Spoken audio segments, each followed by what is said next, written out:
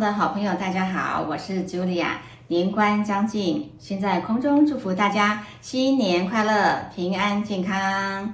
今年过年的年假很长，但是呢，这两年在疫情的肆虐之下，不太能搭飞机到世界各地去旅游，就只能在线上啊回味以前的旅游照片，放松一下心情。那今天呢，我要跟大家介绍一下以历史古迹闻名的意大利，它南部的美丽小镇阿尔贝罗贝洛，它的地理位置在这里哦。好，阿尔贝罗贝洛呢是意大利南边的小城，它的特色建筑呢是以干石灰岩堆砌而成的圆锥形屋顶，还有白色粉刷的后外墙，这样的石屋建筑称为图鲁里，是建筑技术中。没有使用到水泥作为建材的典型代表哦。统计啊，在阿尔贝罗贝洛这个地方，大约有一千五百座的图鲁里，因为很特别，所以呢，在一九九七年的时候，被联合国的教科文组织列为世界文化遗产。圆锥形的石屋由于外观像蘑菇，那么所以大家呀也就习惯叫它蘑菇村了。关于图鲁里，大家也会很好奇，因为偶尔在它的图鲁里屋顶上的外观会看到各种不同形状的图腾。那这个纯粹啊是后来的居民用石膏把它涂上去的，塑造出一种神秘感。那实际上没有特别大的意义了哈。图鲁里虽然它的外观大同小异，但是经过了居民的巧手布置之下，使得每座的图鲁里都拥有了自己的风格。大街小巷都可以看到各种呃居民啊巧思布置它，里面啊外面啊都贩售了各种的纪念品，吸引了世界各地旅客的目光哦。那至于为什么会有这样圆锥造型的石屋建筑呢？据说啊，是以前的居民为了躲避繁复的房屋税收哦，于是就盖了这种容易拆卸的房子。只要呢有官员来查访，就能够很迅速的把房子拆掉，看起来就好像没有盖好的房子一样。房子没盖好，当然官员就不能来征收税金啦。等到官员都走了以后呢，再把房子盖回来。而房子总是要住啊，为何人民要这么勤劳的一下拆一下盖呢？因为不合理的赋税啊，人人都惊恐，人人都害怕呀。原来在建造几百年的历史的美丽的蘑菇村的背后，有这么一段的曲折的故事。由此看来啊，政府不合理的税收啊，人民都避之唯恐不及呀。而历史上啊，国家机构啊对付人民啊有两大手段，一个是用政治的方法来罗织入罪，第二呢就是用不合理的课税啊来对付人民。然而呢，大家知道吗？在台湾也有这样子不合理的课税哦，违法的万年税单啊，让小老百姓苦不堪言呐。首先呢，我们也来看看呐。即使啊，已经啊，政府都取消了这个奢侈税，却仍然被奢侈税荼毒的税灾户李永贤先生的案例。我是那个奢侈税那个受灾户啊，就是之前奢侈税期间的话，因为之前大家应该知道，政府为了打房，然后就是，呃，你手中的房子的话，两年内卖掉的话，都会被科奢侈税，除非你是自住自用。那当初的话，我那间房子的话是我个人的第一间。那那时候我那时候已经当那个三十八岁，那三十八岁的年纪买第一间应该是不过分。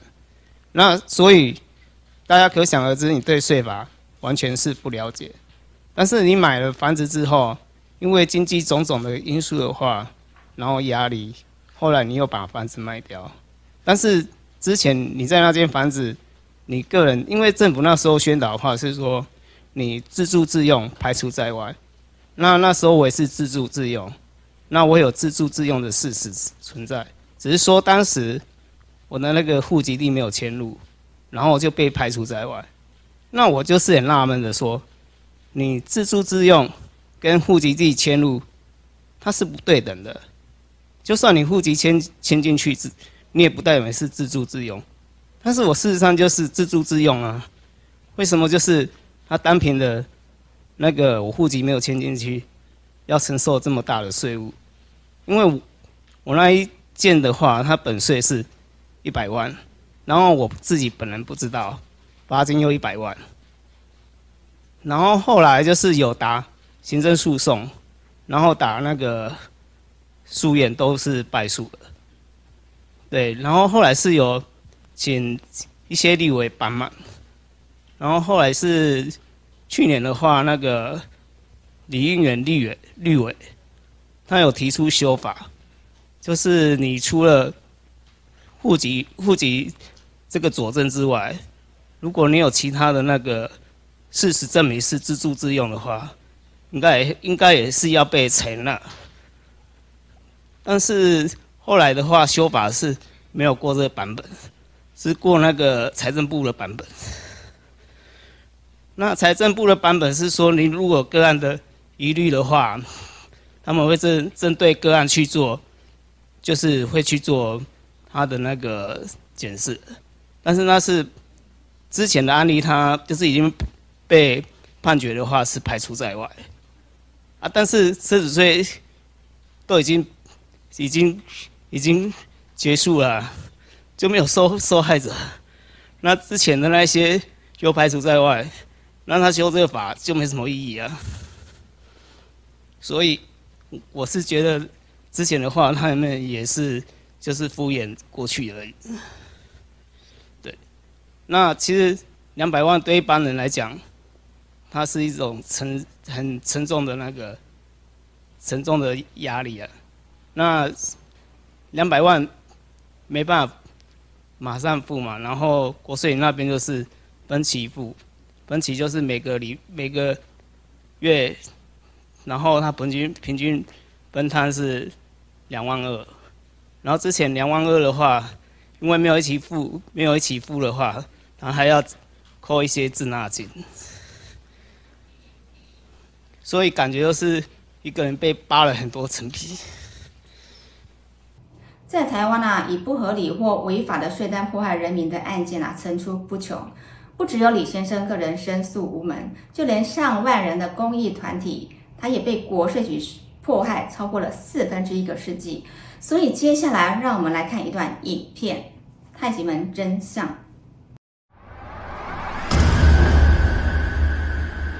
新日最最一つ。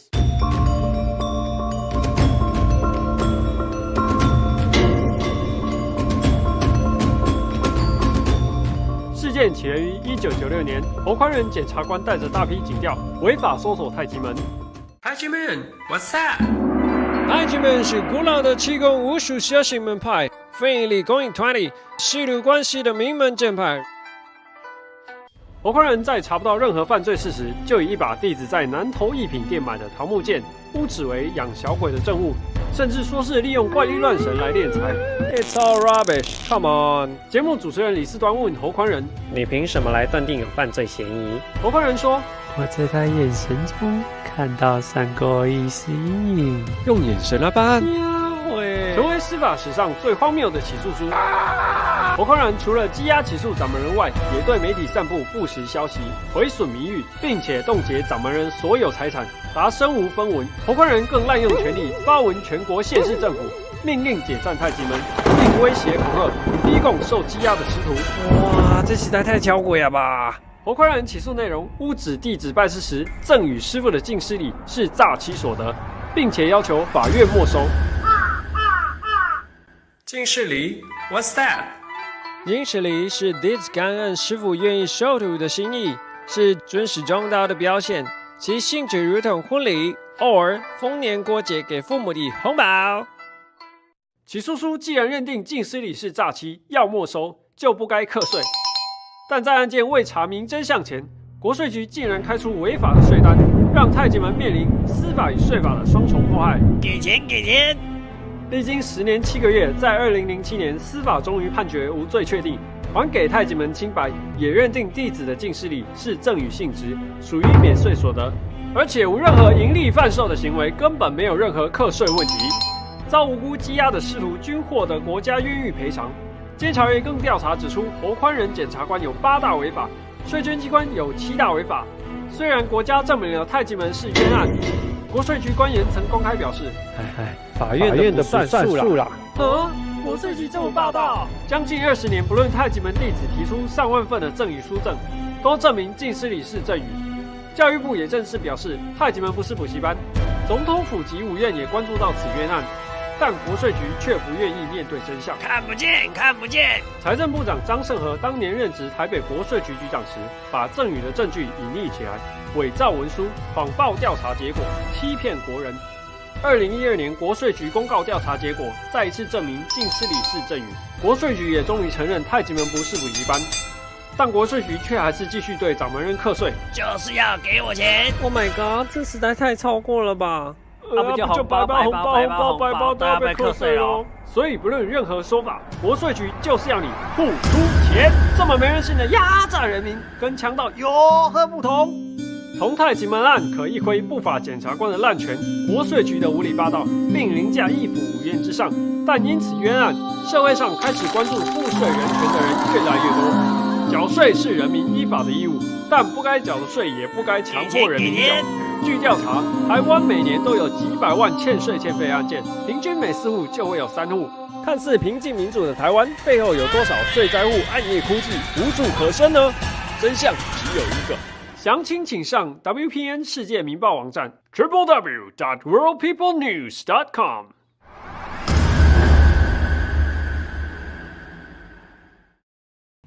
影片中，我们了解太极门税务冤案已经超过了二十五年了。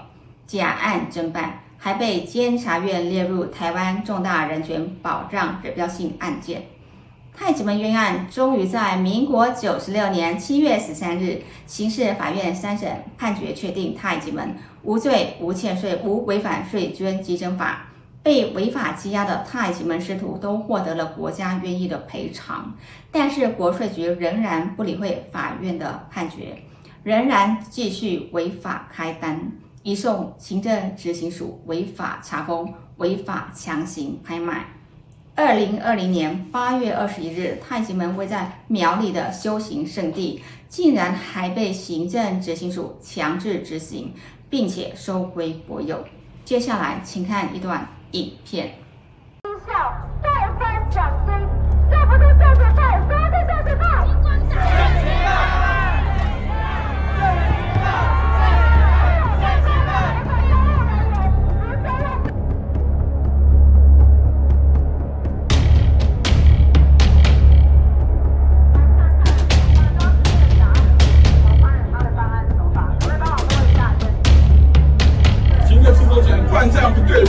对，就是没有公开的开标嘛，现场声音也听不到，到底发生了什么事情也听不到。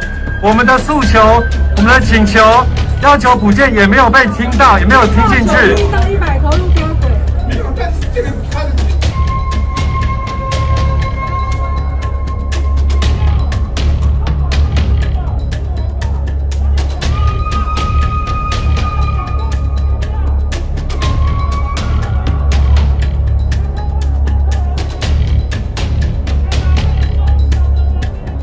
这个动作也是啊。动作你是依据哪？请你回答。李桂芬高级执行官请主任执行官，请哪一条？没有啊，没有十点半吗？你是写十一点。啊，再问这个的，马上拿来给我看。官网上啊，那你官网你把它抠给我看。怎么可能没有？对不对？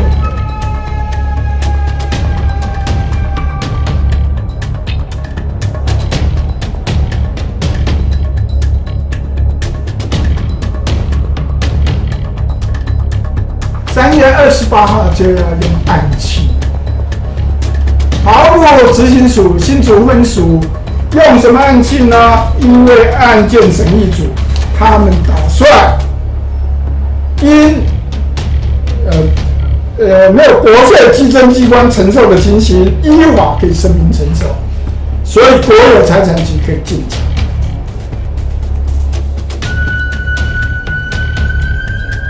违法行为，违法行为，违法行为，违法行为，违法行为，违法行为，违法行为。除了公文上，而让这个立刻把它涂掉，再改日期提早，而且。我看是让你执行。哎，世界上有这种税务人员的这种税务机关吗？净司礼是属于赠与而不是所得，就没有所谓的所得税的问题。我在一百年的时候，我就跟财政部长讲，那这个应该是可以结案的。经过我们法院三审的定验以后，我们详细的论述起诉书哪里不可采，税监单位如果以这个起诉书来作为科税的根据哦，我觉得是匪夷所思。我们可以说，这个案子里面你会发现到，我们在事实证据的调查，在阅览卷中，在整个的整个的稽征的程序呢，都有点荒腔走板。